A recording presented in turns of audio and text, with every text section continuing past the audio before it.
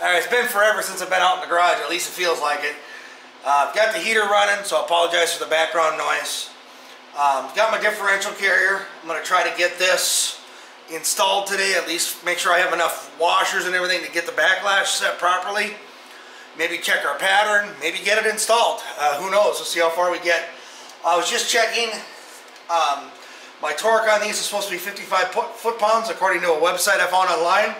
I had a guy at the shop already install these because um, this ring is kind of a pain to get on here. And I was already checking them and they're, they're already torqued, so we're good there. I already checked a bunch of them. All right, so um, let me check my notes and let's get this thing put into the, uh, into the axle. I'll get you moved over here. All right, let's see if we can get this down in here without losing a fingertip. Edges are sharp. This thing is kind of heavy.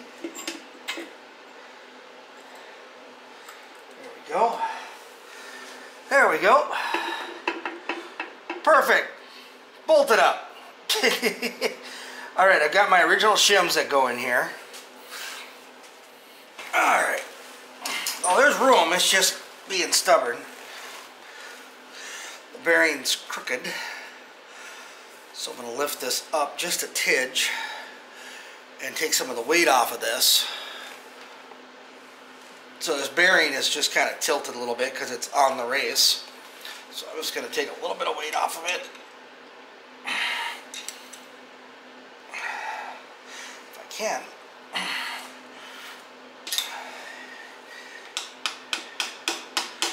I don't want to cause any burrs tapping that down in there.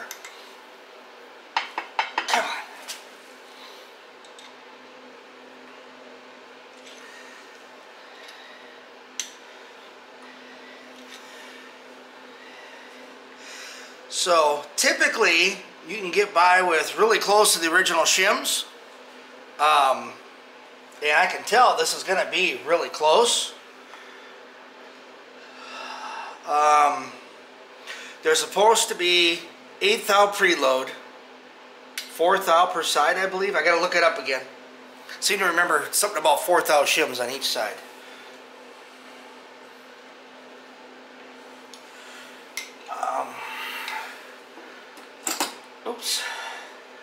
Not exactly what I wanted to do, but if it works. Um, ha!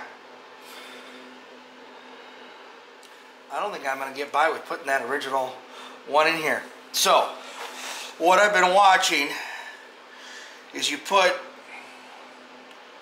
usually you put your shim in over here and your shim in over here. This one you want to leave the extra shims out of so that you're all the way up against the gear. Um, so you have zero uh, backlash at all. Then you put your shims in over here on this side to get it tight but not, uh, not no preload, just tight so that there's no backlash. Then you move shims to get your proper backlash. Uh, but I can't even get this one in here. And I know he's got the, obviously has this carrier on here, right? This carrier is the same temperature as everything else out here. Um, so I don't think there's anything to do with the expansion at all with it only being like 35 degrees out here. Um, I'm going to play around with it a little bit more because I know it's not perfectly straight. Uh, let me see if I can get it to sit down in there with the original shims. Alright, get your dial indicator set up on here. Make sure you have sufficient travel. Make sure it has travel that way also. And I've got about 17 thousandths worth of travel here. Uh, and I have the thinnest uh, stock shim, or the shims that came with the case. I'll show you. They're pre-stacked. I got the thinnest one I could on this side, and it's not quite thin enough. Uh, the originals wouldn't fit in there, so I went with a thinner one over here, and I've still, I've still got too much backlash. Uh, so I'm gonna have to take this one out and figure figure something else out. Go a little bit thinner on this side. Um, so I'll take this off of here and let's figure something out. So these bearings are adjustable for thickness. And what it is, show you here. no, I can't get it apart. It's got a little thin film of oil on there. But it's a it's a large ring that fits in the pocket. Then it's some smaller ones, but they fit on the inside of a, of a lip on here so they can't come off. And then you have you have washers, or you have your shims that go on there. At the thinnest that this will go, um, I still have too much too much backlash. I, if I push it over all the way, um, I mean, I can get it so there's no backlash. So I just got to get this a little bit, a little bit thinner. So I got to find a different combination uh, to get this thinner. All right, so I've got it all the way up against here now. I've got a little bit more shim here. Remember, if you take shims out of this side, you have to put them in on this side. You want to keep it so this has no backlash this way at all. And right now, obviously I do because I only took them out of this side. Um, what I'm not sure of though is I've taken too many out of this side um, that I'm, you know, like rolling up the gear. I guess it really doesn't matter at this point. I'll figure it out as I go because right now I, I know I have no backlash this way on the actual gears. Um, so I'm going to add a couple more shims over here to get this one so that there's no backlash um, this way. Then I'll start playing with moving the shims until I get the proper backlash on the going this way on the actual gear. So let me add some more shims to this side. This should be pretty easy to do. This is the original shim. I think this is the thinner one. So these original factory shims, there is a chamfer on these. And you want that to the outside to the casing if you do use them. Alright, that doesn't feel like that took up any space. Oh, way too much space.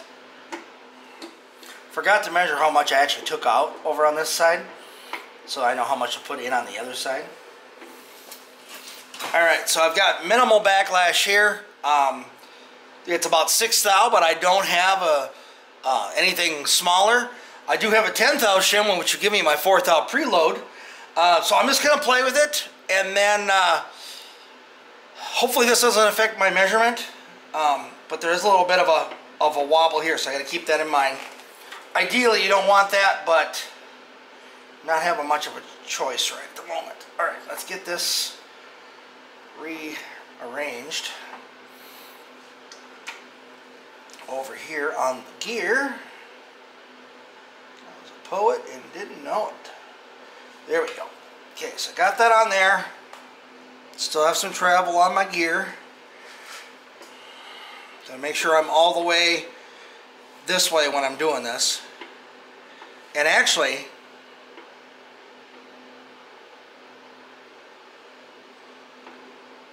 it's about 7 thou.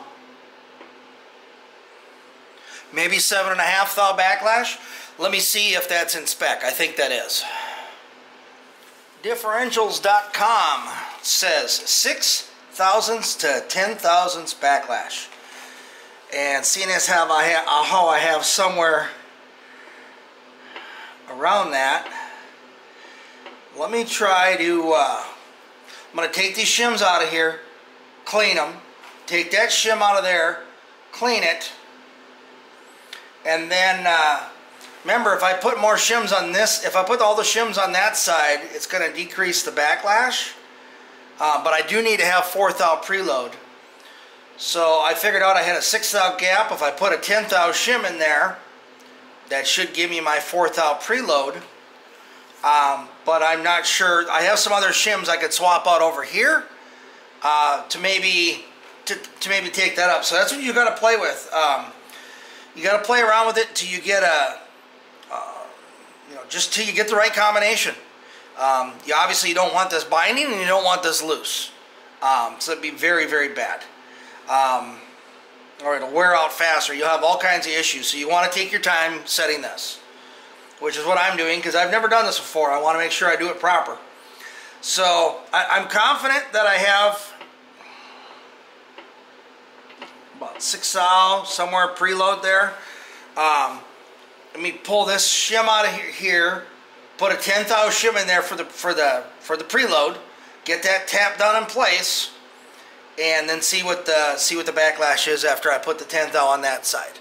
Um, if I don't like it, if I'm below six, uh, then I'll have to swap some shims out over here because I've got 10, 12, 15, 20 thou shims. Uh, between them, I should be able to, to shuffle it one way or the other a little bit. All right, so let me go ahead and put that shim in here and see what happens. Okay, so I've got the stackable washers from the kit, and I'm gonna put them in here. See where we're at. You really don't know until you try, to be honest. And then I'll have to clamp all this down, check it again, uh, once it's been torqued. Alright, so I've got got that shim tucked down in there now, and we've got six thou backlash. Got no movement this way because I've got the preload on there. Um, I think I have enough preload. I'm going to double check that one more time um, just to make sure. With the, we'll put the caps on here, check again, and we'll go from there. Alright, I've got my bearings all picked out, the ones I'm going to use, or the shims. Got my shims all picked out. Let's give this a rotation real quick.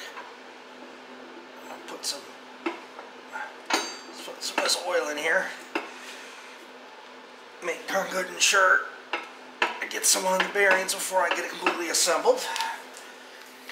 Alright, finally got a decent preload and I've got right around six, six and a half thou backlash. So I'm to put the bolts in here, tighten it down, and I'll come back. My battery's almost dead also. I got my bolts down in here. I did not torque them yet. So you can see on this side over here, that's a shim pack. And like I was showing you, the smaller shims are in are inside the lip so that it, it that way it holds them all in. Same thing over here. The the cap will hold the the shims because they're on that shim pack and now they're underneath the cap and there's no way they can come off. Sorry about that. So anyway, uh, that is all together. I just have to torque them down. Went back and checked my notes. Okay, so I've got this on here. This is the original gear uh, pinion and ring gear. Um, but I still have to check my pattern to make sure that everything I put together is correct. So I have to do that yet. I'm also going to check backlash uh, now that I have the caps tight, but it feels like it's about the same. Um, so let's go ahead and check that. Uh, I'll check that wear pattern. Alright, so it's the next day. Uh, put some of that grease on here, ran it back and forth a couple of times on the pinion, and uh, the pattern is down in the root decent. It's shifted a little bit to the inside, but there's not a lot I can do about that. The uh, My pinion depth, that yoke fits so tight, I'm not messing with that. So I'm pretty happy with where I'm at. Um, I'm going to get some Loctite. I'm going to take this out um, and get some Loctite on this. Take my bolts out of here, Loctite both of those, put it back together, and then we can get the axles in here. Okay, so I got that bolt out, got the, got the Loctite on there. Loosen these up. The kit came with Loctite. So that's pretty awesome. Pretty sure I have enough for all four of these. If not, I have my own.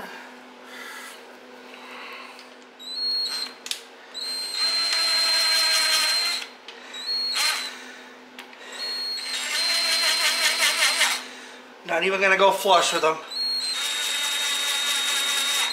Oops. I don't want to be, I want to do that all by hand.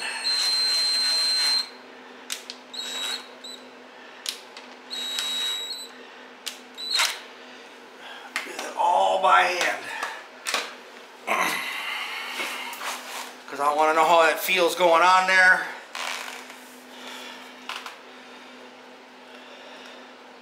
Then I'll torque it. Then we'll be good. Where's my ratchet? I guess I can just use a torque wrench.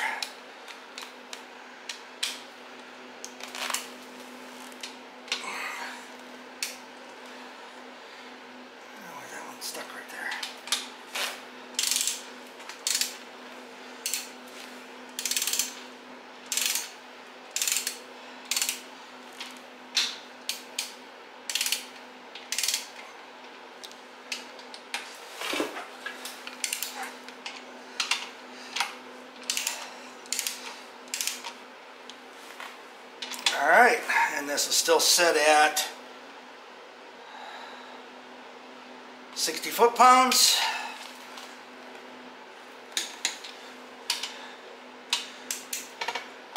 Whoop.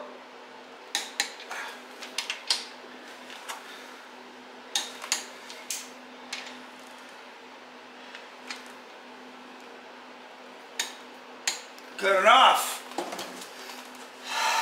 All right. All right, that's all done. Let's go ahead and get the axles in here, and I think we'll call that a, uh, a video for the week, a successful week. I might get underneath the car, do some scraping, that, but that'll most likely be uh, the next video. Um, I gotta get that all prepped so I can actually put this axle in the car. Let's uh, let's see how much more we can get done today. All right, got you moved over here. This is the axle that went on this side. And uh, this particular, these bolt-on axles, these uh, have a pattern to them. And it's actually tapered and there's this pocket here. That pocket goes toward the ground. Which on my transmission, the ground is going to be, the earth is going to be that way. And this taper, this is shaped the same as this washer on this thing. So uh, I'll show you here in a second. Oh, help if I take my Take that out of there. Oh, let me wipe out the inside of that a little bit better. Alright, let's try this again. Uh, hopefully my headlight doesn't cause any problems here. Uh, anyway, I've got cleaned that out in there. I don't know why there was any gunk in there to start out with, but must have missed it. Um, I already got this most of the way in, and it's lining up with the... There we go. That's literally it. Now this just... This guy here you really can't see, him, to move you over here. This guy here, you just have to line up. And uh, it really only goes on one way. Like I say, I know the ground, the earth is that way. You want that bottom part hanging there in case any moisture were to get in here. It, you know, it would uh, it would roll out. Uh, these bearings are sealed. So once I press this on here, uh, once I bolt this on here, uh, should be good to go. Then I can touch up this paint if I want. And uh, we're golden. I'll have to do the axle on the other side, do the same thing over there. I won't uh, won't make you watch that twice, but just pretty simple is is uh, putting the you know putting the axle in it. It's it's turning the gear down there, so it's doing what it's supposed to do. Uh, let me find the bolts for this and uh, get this thing bolted up. These bolts that go on the hold this bearing in or hold the axle in are, uh, there's no seal or anything on here. So that bearing is a sealed bearing, and that's actually what seals the end of the end of the axle. Um, these bolts, these have like this toggle on here. Um, I can show you on the other one. So these, uh, the bolt that's what the head of the bolt looks like. So it just kind of toggles on there and it can't spin because the axle's in the way. So you don't have to hold the head. And I'm just running these on here evenly right now. Get them on all the way. And then we'll be good.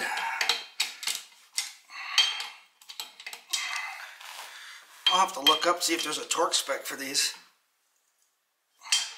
I think I could get a torque wrench in here if I wanted to though. Pretty much it just kind of smashes down and just kind of sandwiches that, uh, that bearing in there. Um, these nuts have like a, a crimped end, so those are not coming off. All right, let's get the other other axle in. I'll get that end cleaned out and get that one in there and then we'll put the cover on this thing. And then we can be done with the axle uh, for the week. Well, so much for planning ahead. Um, I was going to go put the cover on here, and uh, for some reason I don't have the gasket. And I don't remember ordering one, so I probably just don't have it. I looked around, I thought maybe I misplaced it, but I'm pretty sure I just didn't order one. So um, I got the axles in. Um, I'll touch up that paint later. Uh, we're, we're good to go. Um, I'll have to get the cover on later this week, get the underneath of the car cleaned up. I think we're gonna call that a call that a video for the week. So really appreciate everybody following along on the GTO build. Uh, it's really appreciated. Uh, just trying to trying to document what I'm doing and you know bring some other people along. If uh, if you like what you're seeing, please like, subscribe, share with some friends. Uh, again, uh, appreciate everybody, you know, comments and stuff. Uh, I have a funny one that someone commented last week because I had I had put this distributor gear on here backwards, okay, and a couple of people had caught it, and it is on there correctly now, but uh, I didn't end up showing that, but I did uh, I did update the thumbnail to show you that I actually did put it on here correctly. So um, again, I appreciate that feedback. I was so concentrated on getting that stupid roll pin in there that I didn't even pay attention to the fact I had it backwards. So anyway, thanks again, everybody. Have a great day, and we'll see you in the next video, all right? Thanks.